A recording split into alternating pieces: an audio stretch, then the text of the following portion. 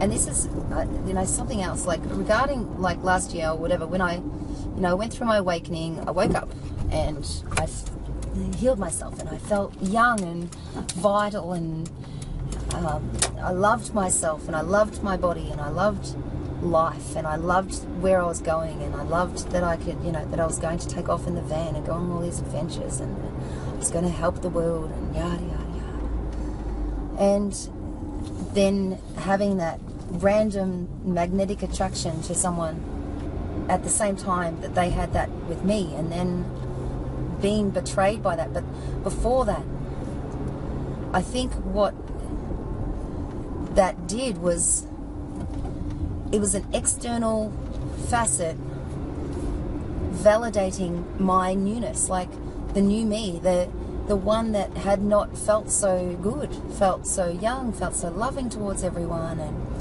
um, you know I'd never been that person before and I'd never you know I was so different from who I used to be and then I think it's because like that new me that real me or whatever I felt like I think you know, I'm just going through another possibility here, but I think I felt validated as that new person. That new person was validated. That new me was validated.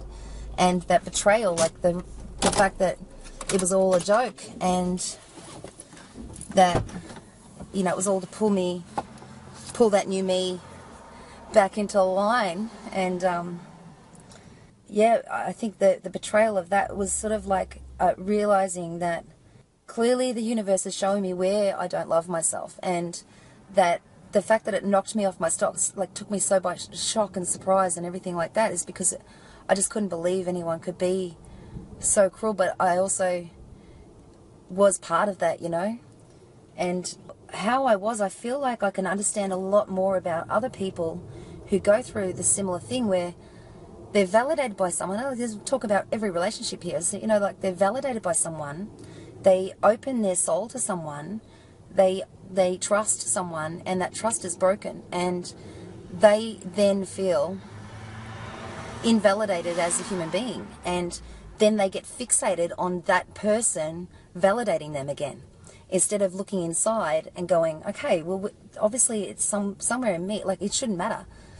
So there's something in me that is not validating myself. You know, that's saying I'm less than, and um, that's why it's been important to do the work on myself, you know, work out where I don't love myself and all that kind of stuff. But there was a time shortly afterwards where I'm like, okay, here's my New Year's resolutions, and I'm going to start doing this and this and this and this and basically get back on track.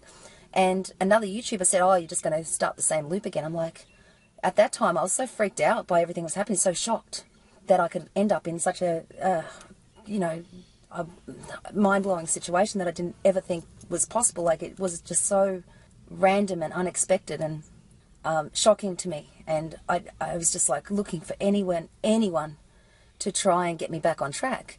And when he said that I was just going to do that, I, I believed him. And I didn't. And I ended up um, hibernating. but I really should have got back into the, like, it's all about, you know, if you love yourself, you're basically then sharing love with other people and you're being love and you're being that which you want the world to be. Taking a, a year and a half off looking after myself. Um, look at my bags under my eyes. Like this is me without makeup, but you know, you got bags under my eyes. You got like um, redness and acne and um, fat, um, layers of defense systems, and just not taking care, not exercising, not living, not getting the energy moving, not putting life force living foods in your mouth and, and anything that you do to improve your own worth in yourself, to show that you are grateful for life and that you're grateful for your body and you're grateful for this experience and all that kind of stuff, like gratitude and actually intending a better life is really key. It's so key. But we just, I didn't realize how much external validation I needed. But then I think everybody is our reflection as well. Like everybody, you know, the way that you feel like people are seeing you is actually part of you seeing yourself as not all you can be. And that is, you know, more to work on. I know that to improve the world kind of thing, that I have to be the change that I want to see in the world. That still hasn't changed, even with all the, the crap that's happened. I still know that you have to be true to your soul and not just take the easy way out. Sometimes it, it, takes hard work to get back on track, but then it's easy because it's part of your life, it's part of your being, it's who you are. And that which you don't like about who you are is the things that you need to work on. That's life. That's part of the experience here, part of the many different aspects of this experience here. But if you're taking on a perspective like I have, that I've been, you know, walking into that workplace as a lesser being and allowing myself to have that experience of um, being off my pedestal, you know, taking my ego on a little journey of wow, shame, you know, guilt, humiliation, ugliness, fatness, lowness, really knocking myself off that pedestal. And that's why I probably haven't been doing the YouTube videos either. It's probably because I felt like, what message have I got to share, you know? So I've really got to get myself back on track. And I don't mean back on track because it's on, I'm on a completely different path now. But it's still, I can see how, you know, these bumps in the road sort of help you because I didn't you know, I was also living a life of fear and I didn't even realize it until I was forced, you know, like a punch in the face, forced to look at where I don't love myself, even though I felt like the most loving being on the universe, that I was connected to everything and blah, blah, blah. But now it's given me more understanding about other people, um, why they become, you know, insane sometimes. You know, I don't have the answers for other people. All I can do is work on myself but I really had to look deep this time. I had to look deeper than I've ever had to ever gone. Even when I thought that I've spent my whole life working on personal development, self development, things like that. No, now, like this year and a half has been digging, digging deeper than I've ever gone before, working out those kinks.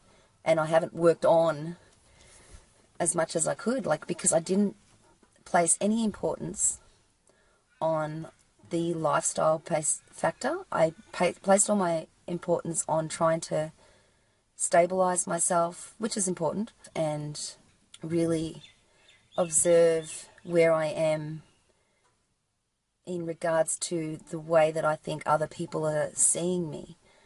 Now I feel for for one, I'm happy that I'm now taking steps towards my calling, which is, you know, light workers, which is helping others that I can work on every day knowing that I'm making a meaningful difference, but it's not about external validation in that regard. It's more about gaining back validation in myself.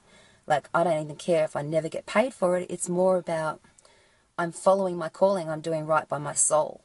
And that is a step towards whatever.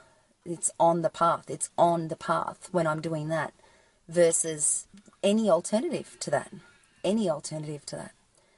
You know, you need to have you know, this service to others thing needs to take an extra step in that this service to others thing is about the service to others by following what feels in your heart and your soul to be in alignment to your being and improving your being always.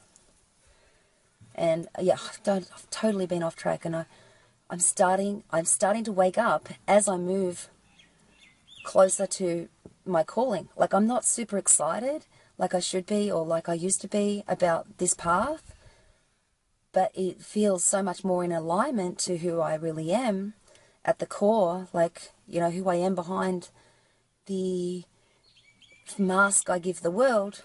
So it feels like the right step. It feels like, you know, if I were to die soon, that is what I would want to be doing before I die.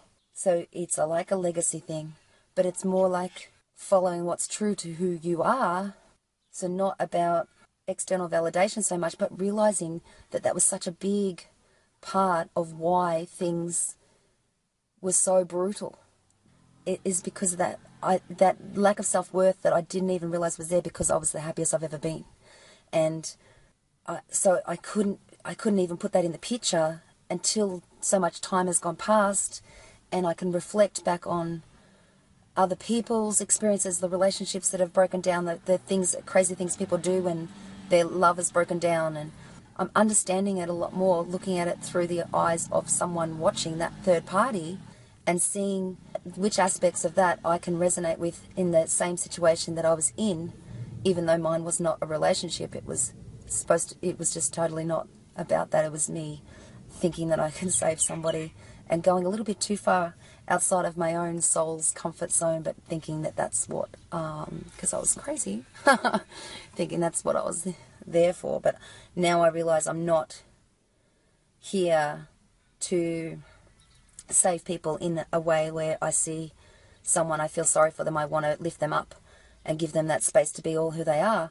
I need to be and give myself space to be all I can be and also be that, like literally from a space of not so high in the sky, but from this grounded, real space, I can improve myself and, and naturally I will um, work out the kinks in where I was looking for external validation.